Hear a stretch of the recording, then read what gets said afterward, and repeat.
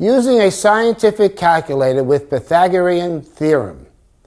Whenever two sides of a right triangle are known, the third side can be determined by using the Pythagorean theorem. The Pythagorean theorem states that the square of the hypotenuse of a right triangle is equal to the sum of the squares of its other two sides. So what we have here then, the square of the hypotenuse, that's c squared, is equal to the sum of the square of the two sides. So you got b and a, and so a square plus b square equals c square. Now let's look at this problem. But before we do and solve this problem, finding this unknown side, I want to introduce a little bit of the scientific calculator because there's something you have to be extremely careful with. It, that is not to leave numbers in memory. I'm going to put a number 5 here into memory. That's the sum button on this particular calculator. And study your calculator, find out what it says on there. And notice there's an M in here.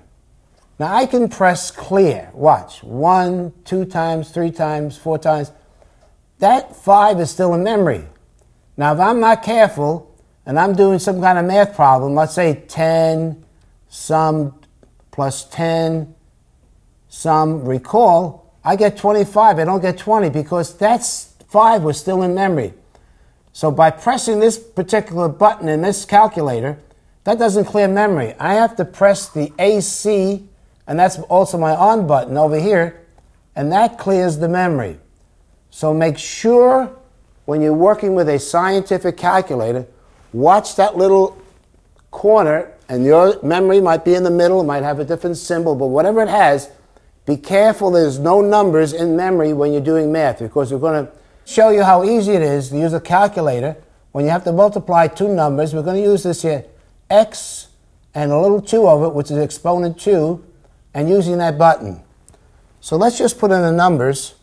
c squared equals a squared, and that's 4.5. We don't have to put the zeros in because it doesn't amount to anything when you have zeros after a decimal point, times 4.5 plus b squared is 6.25.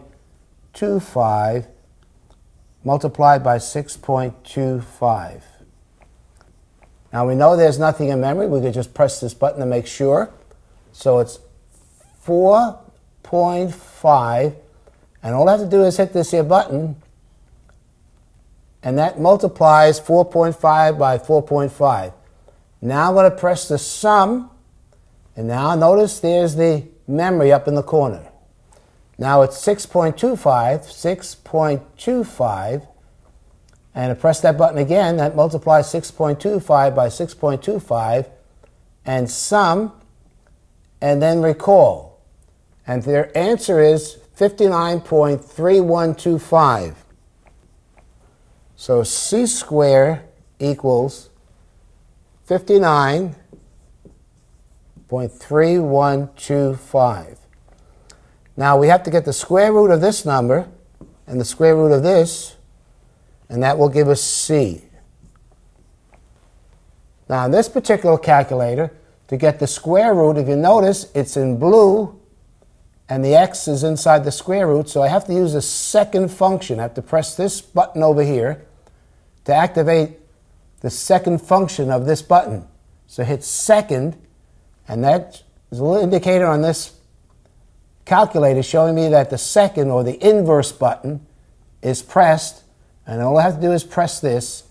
And that comes to 7.70146. So the answer is 7.7015.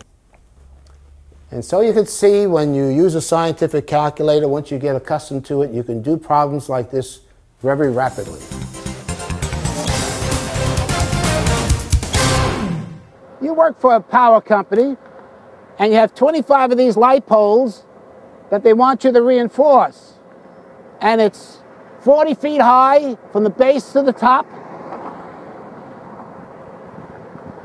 And from the base of the pole to where it gets reinforced to the ground is 15 feet. And you have one foot overlap on the bottom and on the top. How many feet of cable will you need? Let's do the math. We have a telephone pole and it's attached on the top 40 feet from the ground and 15 feet from the base of the pole. And this is a right triangle. Now we can use the Pythagorean theorem. And remember, this is the hypotenuse now. It's always along the side. That's the hypotenuse. It's opposite the right triangle. And that would be C. And we can make either side A or B. It makes no difference. So we'll make this as A, and we'll make this as B. And the Pythagorean theorem states that C squared equals A squared plus B squared. So let's just put in the numbers. C squared equals A squared, which is 15 squared, plus B squared, which is 40 squared. Let's just go to the calculator. Again, make sure it's all clear, nothing in memory. And so it's 15 squared sum plus 40 squared sum. Recall, press the second or inverse button. Press this over here, and that's 42.700 this time we will not use the memory keys. So 15 squared is x squared plus 40 x squared up here equals 1,825. Now we want to find the square root of that, and then we use the inverse key or the second key here, and that will equal 42.7200. And then remember there's one foot on each end. So we have to add two feet onto this cable plus two equals, and there's 25 poles that we have to fasten in this manner. So we have to multiply that by 25. So they give us 1,118 feet of cable. So for 25 poles, you'll need 1,118 feet of cable. So you can see using a scientific calculator makes solving a problem like this very simple. Please pause the video now and complete the problems in your workbook. When finished, press play and we'll continue with the next lesson.